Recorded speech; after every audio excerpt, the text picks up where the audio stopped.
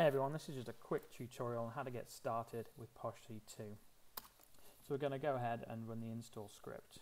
All this does essentially is performs an apt-get update, update and installs the relevant packages. If you want to do this manually, you're more than welcome to do a git clone, uh, install the requirements using the install text file, uh, and then install the, um, the Python requirements as well.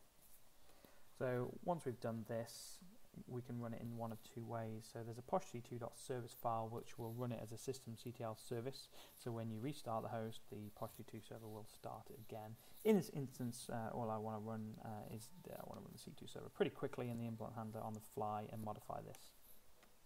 So first of all, you need to go and edit the config.py file.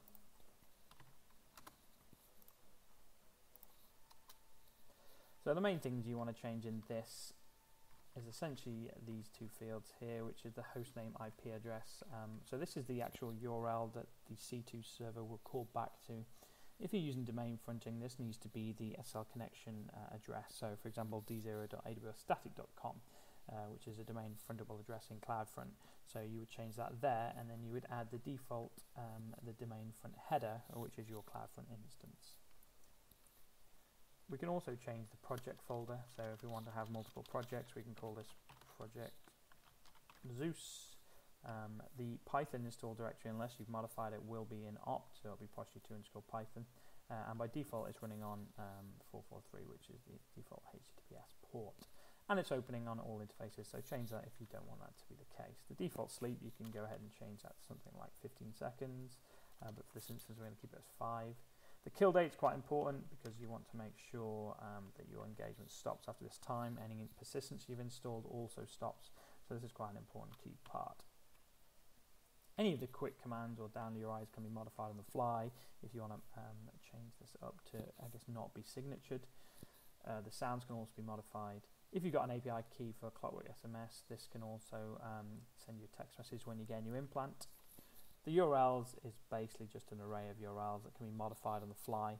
Please note though, if you do change these and you are using something like an Apache redirector, you'll need to modify those as well. This is similar for the socks URLs as well. Uh, if you're using sharp socks for anything, uh, these are the URLs that we pass to sharp socks um, should you decide to use that. The user agent is also a fairly generic user agent that IE will use, so you feel free to change it, but it shouldn't be signatured from a poshc2 perspective because it is quite a well-known user agent. And if you want to add a referrer header, you're more than welcome to as well. You can also modify the default HTTP responses, so this will respond as, as if it was an Apache Debian server. Uh, you can modify all this if you want to be IIS. Um, also, um, during the, the course, uh, the, sorry, the course of the C2 beacons, you will get uh, various responses when there's nothing. Uh, there's no commands to task. These are the responses that you can again modify. You can add whatever you want in there, and then add this random data string which will get replaced. So you can add in um, uh, basically lots of different templates in there with files, folders, everything, um, and then that will get responded to. The server header is also Apache by default, but again, this can be changed to IIS or Windows if you prefer.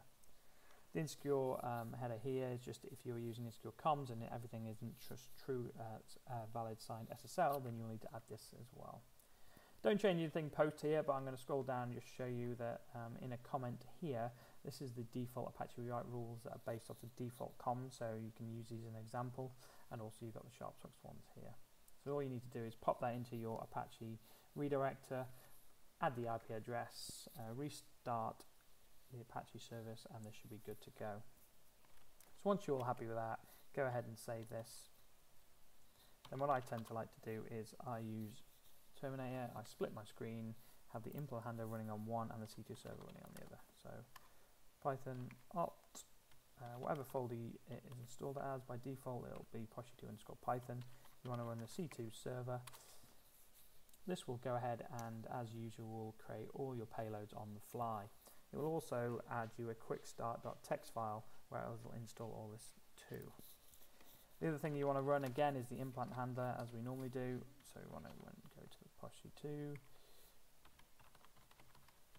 and run the implant handler which will then um, have no implants currently. So if you want to go get started very quickly, I'm just going to go run this one liner on a host.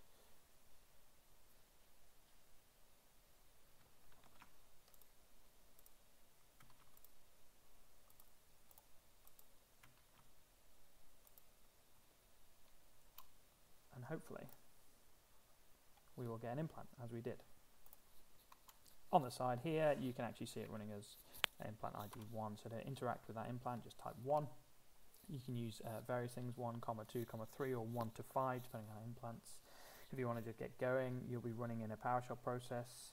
So we can test that by just running a get process hyphen ID, and that'll tell you what process you're running in, and then we can also migrate. So that tells us here we are running in a PowerShell process.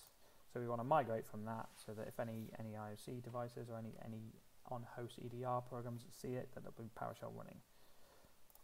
So we can now kill this implant. Are you sure? Yes, we do.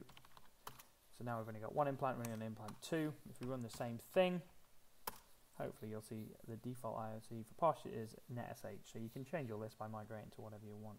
But that's the default of how to get set up with Posh C2.